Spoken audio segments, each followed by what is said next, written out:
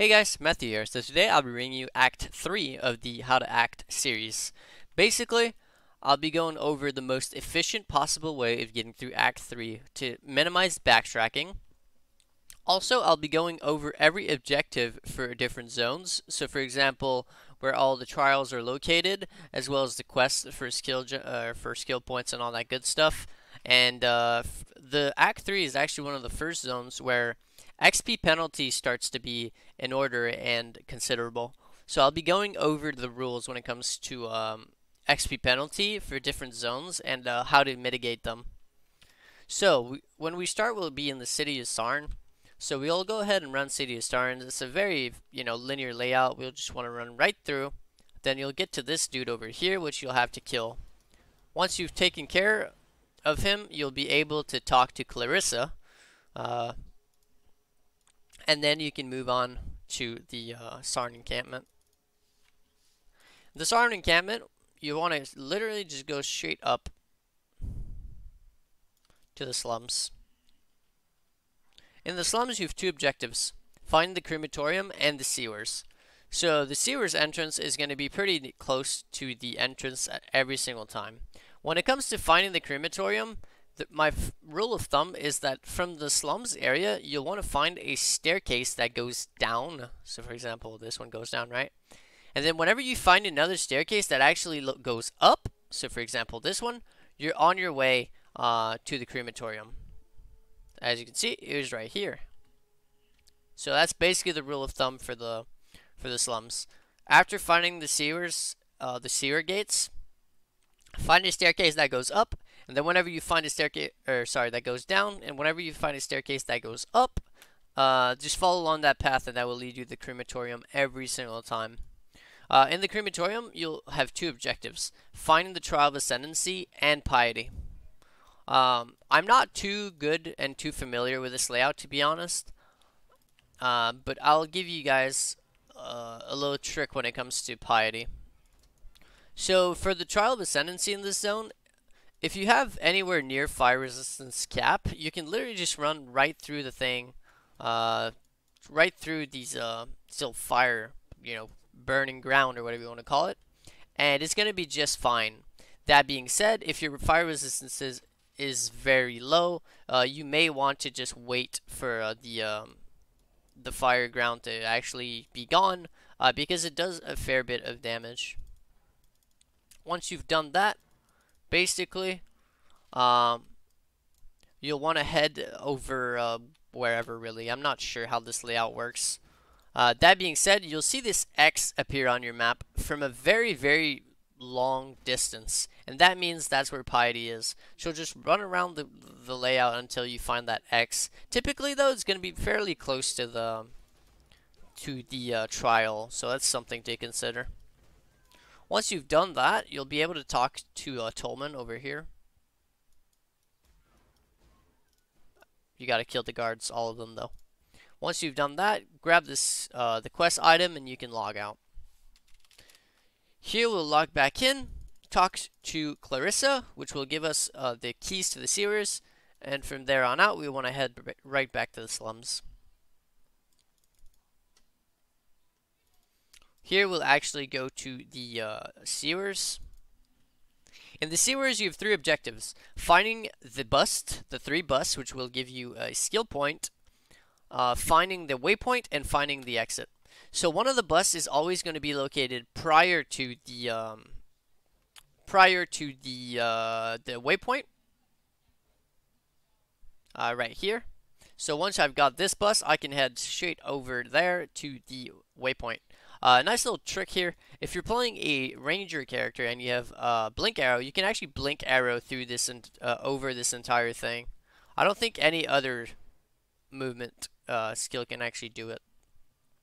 Grab the waypoint is very important because we'll be coming back here later. Heal will basically be looking for the uh, two other busts. So there's a fair bit of um, of dead ends here, but it's not too bad.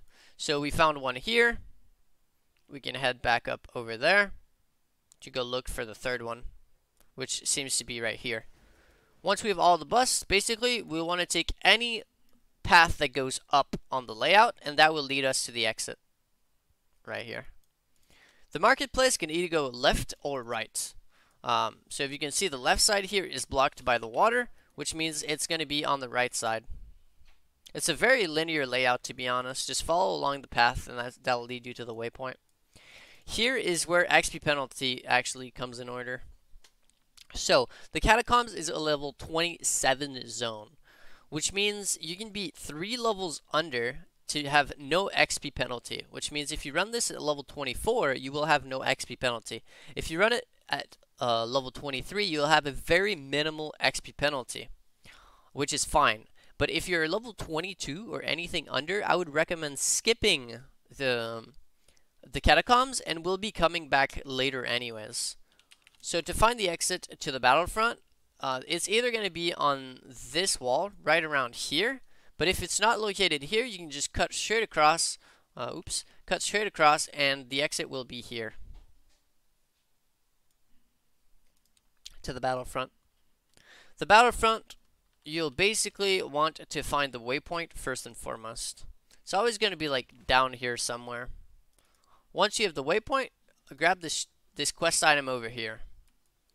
Um, at this point, you'll want to head to the docks, which are located right over here. Every single time, it's just going to be up to up from the waypoint. You'll find the docks really really easily. Uh, the docks is another zone that you actually uh, want to worry about levels because the Battlefront is level 27 zone, but the docks is actually a level 29 zone which means if you're anything under level 25, you may want to skip running the docks uh, because you'll be XP penalized for about one fourth of your XP, which is pretty uh, uh, pretty considerable. So in that case, what you'll want to do is drop a portal right over here at the docks, in front of the docks, and um, head over to the um, the Solaris Temple. I actually didn't have a portal scroll there, which is uh, little bit of mistake because I can't show you guys what I do, but either way, head over to the uh, Solaris Temple level 1. Uh, Solaris Temple is really easy. Just follow along the red carpet, and that will lead you to the right place every single time. There are some dead ends, though, but for the most part, um, just following along the red carpet is going to be good enough. So, for example, this one led us to a Vaal side area, which is a little bit of a debate, which means the right the right path is over here. There you go. Solaris Temple level 2. Solaris Temple level 2 is the exact same. Just follow along the red carpet. That being said, there are some dead ends, as you can see right here. Uh, so you'll want to, uh, you know, go to the other spot. Just following along the red carpet. Once you reach this room with the boss guy, or the unique monster, the goddess of purity around here, it means you're on the right path. Uh, which means you want to keep, you can just skip her and keep following the red carpet on the other side that will lead you to the um, um sorry the uh, level 2 uh, temple level 2 waypoint. So I'm just getting hardcore debated here. What is this? What is this? Ah! I actually know where I'm going. I'm just being stupid. Um so here you'll have Lady Dialla which you'll be able to talk to to get your amulet your, your first rare amulet uh, from a quest reward which can be pretty nice uh, once you've talked to her, though, you want to head back to town and grab that portal, which you should have if you're not an idiot and you actually put down a portal in front of the docks. If you didn't do that because you didn't have a portal scroll or whatever it is, uh, just head back to the battlefront and uh, you know you'll waste you'll you'll lose a few seconds doing so, but there's not much you can do. Mistakes happen. Head back to the docks, and here basically uh, you're to have one of the piers will lead you to the waypoint, which is always next to uh, Fairgraves, and the other one will lead you to the quest item. So see the waypoint right next to Fairgraves. It's to be like that every single time. And then one of the other piers is going to lead you to um, the quest item. It's always going to be down a flight of stairs. That's really all I know. That's really all I can say. Uh, that being said, where is it? Uh, I'm not sure. Like, I don't know there's any way of telling uh, where, it, where it is every single time. Maybe if I ran the docks like a few hundred times, I'd actually uh, become accustomed to the layout. But all I know is it's down a flight of stairs. So for example, here it was here. Uh, so it can be pretty debaty because as you saw, the entrance is right here and the quest item was right there, right? But it could have been there, it could have been there, or around here.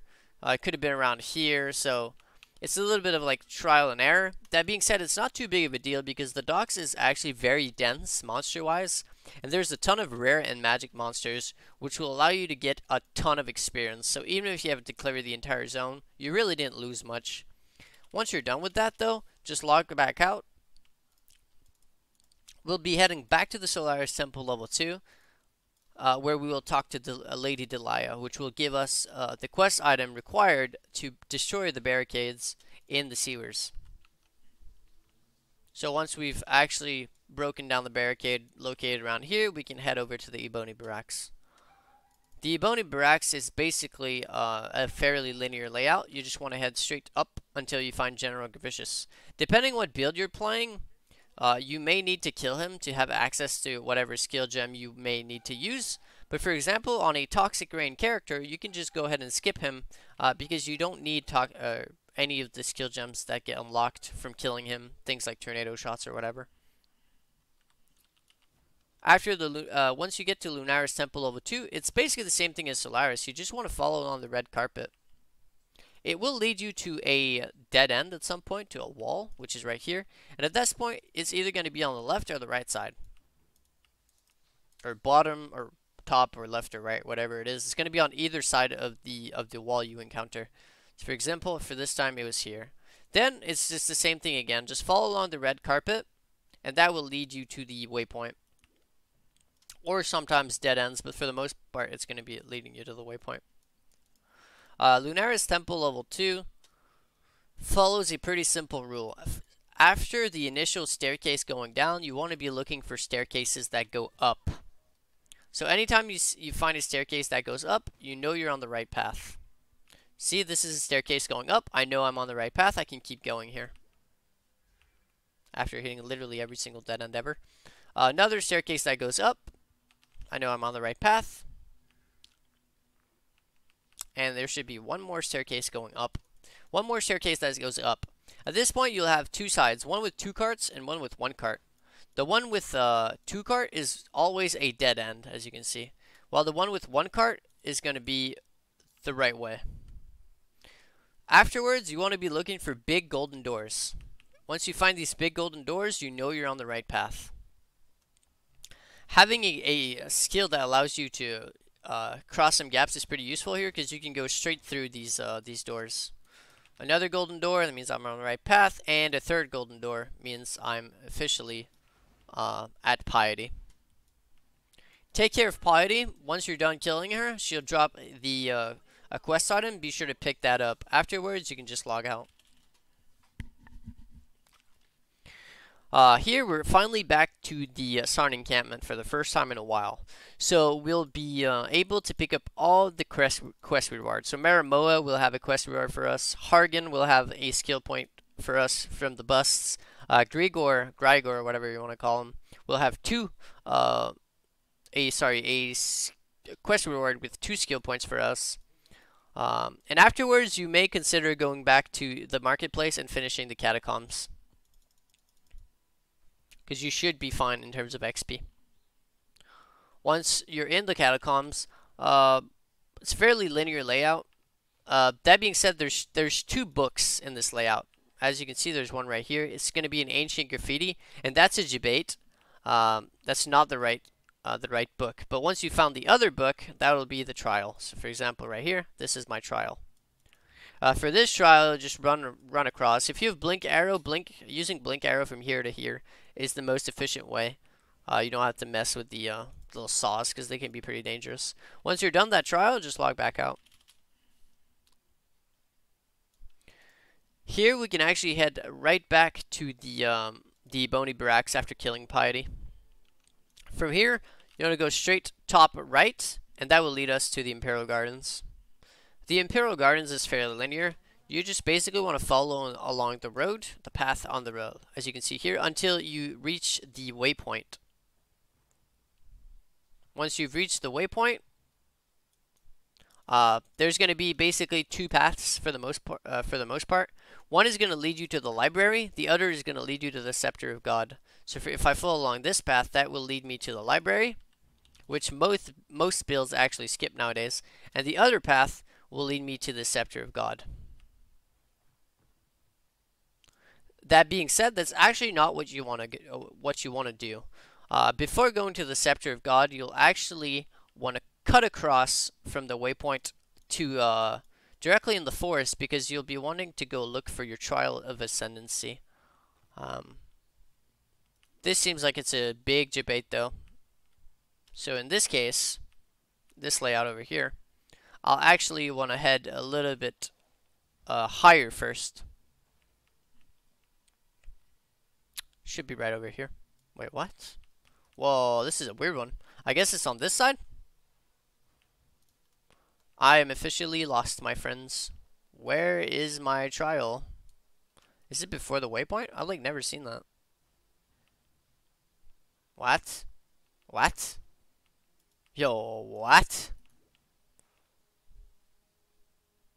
Uh, well, I've never seen this layout. Or maybe I skipped it because I'm just really bad or something. Or is it, is, it over here? Oh, it's over here. Okay. Uh, well, that was that was a pretty rough one to be honest. Holy crap! Look at this layout. I'll be sure to remember that one because that is a massive waste of time. Either way, after the Imperial Gardens, you can just log back out. It's quicker that way. It, it will also give you your uh, your flask charges back. Head back into the waypoint, and then as we saw earlier, we can just follow along the road to the Scepter of God. Very, very uh, triggered by that layout, though. Uh, the Scepter of God, for the most part, you'll just want to head uh, across whatever starting zone you're at, and that should lead you to the um, uh, to the next uh, next level. Uh, there's probably a most more efficient way of doing this, but for the most part, that's kind of what I do. I'll just head the opposite direction of wherever the starting zone is. So for example, in here, since my starting zone is here, I want to head to the opposite direction, which is going to be around here. Uh, that being said, like I did at first, you can actually just follow along the outer ring of any layout, and that will lead you to the uh, the next one. But it's obviously not the most efficient way of doing things. Typically, cutting across is just going to be faster. That being said, you can get debated. But as you can see, for the most part, that's just faster. Here, this looks like a debate to me. Yep, good.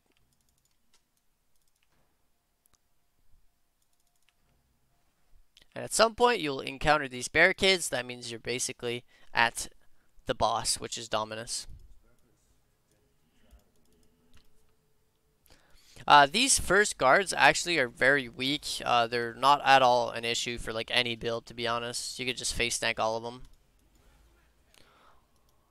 Uh, the second part, uh, the second part though, can be a little bit annoying. This guy right here with his whiplashing and stuff can be decently dangerous. Uh, Cali the Craze is pretty easy. You can just step out of whatever he does. Uh, this this attack over that Dominus just used right there is actually fairly dangerous. Uh, you definitely want to, you know, move out from it. Uh, these one where he's just throwing these uh, these spirits, you can actually face tank those if your lightning resistance is pretty decent. Then there's an, also his final attack where he'll put some like totems on the ground which will all be linked with electricity. This you want to move out of because it actually shocks you. And when you're shocked you take 50% increased damage from all sources. Which is really dangerous. Uh, the second phase for the most part if you have two life flasks you can just alternate between them and uh, just face tank him. Once you've killed them, head over to the aqueduct, and you're officially done with Act 3. If we recap, we've done all the Trial of Ascendancies located, located in the crematorium, the catacombs, and the Imperial Gardens. We've done all the um, the skill point quests, which is from like the bust, killing piety, and all that good stuff. And we've basically uh, done everything we needed to do in Act 2 in the most efficient way possible. Uh, that being said, um, basically When it comes to Act 3, it's going to take a little bit of practice uh, getting used to it. You know, uh, maybe uh, take some notes, like rewatch this video and take some notes of like uh, where you want to go and uh, the little cues I gave you guys to find the, the layouts fairly easily. Uh, I'm a little bit bamboozled by that Imperial Gardens layout though, but you won't you won't see that one very often. Either way, that's going to be Matthew signing out. Hopefully you enjoyed it. Hopefully you learned a little something. And I'll catch you guys in the next one. Peace.